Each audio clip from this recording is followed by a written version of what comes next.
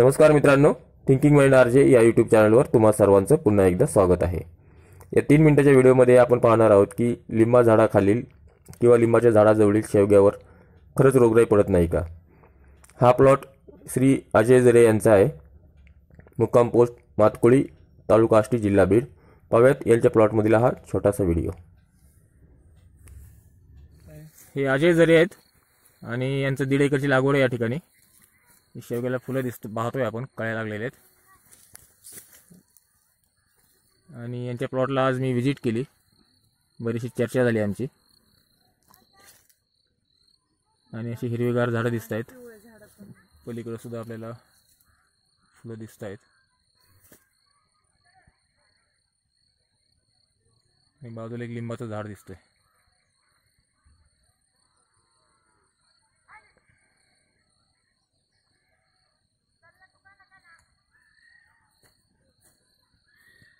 अजय जरे साहेब तुम्ही काय म्हणाले होते आता लिंबाच्या झाडाबद्दल? लिंबाच्या झाडाखाली जे झाडं येतं हा? त्या लिंबाच्या झाडापाशी जी झाडं येतात ना खाली हा. त्यांना रोगच नाही राहत म्हणजे असं. रोग राहतच नाही. लिंबाच्या झाडापाशी जे झाडं असतात ते लिंब रोग रोग रोग राहत नाही हा तुमचा अनुभव आहे. हो. हा शेवग्याचाच अनुभव आहे का दुसरा काय अनुभव आहे अजून? नाही कोणता पण कांदा असो काय हा. पण असो पीक कोणतं पण चांगलंच येतं त्याच्याखाली पण असं. तुम्ही काय काय लावलं होतं इथं? लिंबाच्या म्हणजे कांदा होता. कांदा कांद्याला रोग नाही पडला? कांद्यावर पण नाही बाकीच्या प्लॉटला रोग पडला पण लिंबा बाकी शेजारी रोग राहायचा पण लिंबाच्या झाडाखाली जेवढे झाड येतं हा. कांदा असो नाही काय असो पण ते रोग पडत नाही. शेवग्याचा काय अनुभव आहे तुमचा? शेवग्याचा पण तोच अनुभव आलाय.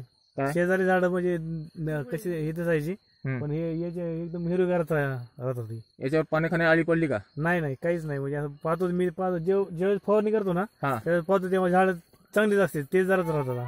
लिंबाच्या झाडाच्या सावलीमध्ये किंवा आजूबाजूला जे झाड आहेत ते शेजारी एकदम ते- त्याला आळी नाही पडली. हाळी नाही पडत काही नाही. म्हणजे ते बाकीच्या झाड- प्लॉटला पडली. हो तुम्ही पाहता ते झाड कशी येतं हे झाड कशी येतं हो हे हिरवीगार झाड दिसत आहेत मला. अजून, बाकीच्या प्लॉटवर बरेचसे झाडं पिवळे हो. पाने सो झालेली त्यांची. हो पण याच्या याला रोगच नाही राहत याच्यामध्ये याला रोग राहत नाहीये. मित्रांनो लिंबाचा हा चमत्कारच आहे. आणि लिंबाच्या पाण्यामध्ये किंवा त्याच्या लिंबोळीमध्ये सुद्धा पुष्कळ अशी औषधी गुणधर्म असतात. हो, आपण भरपूर लिंबाचा पाला असतात. दशपर्णी अर्क करण्यासाठी किंवा नीम मलम तयार करण्यासाठी आपण वापरतो. त्यामुळे याची पानं अशी हिरवीगार राहिलेली आहेत. एकदम कधी अशी वाटतात एकदम. छान असे पानं आहेत. हो. अशी वाटतात एकदम. आणि रोगराई कमी आहे.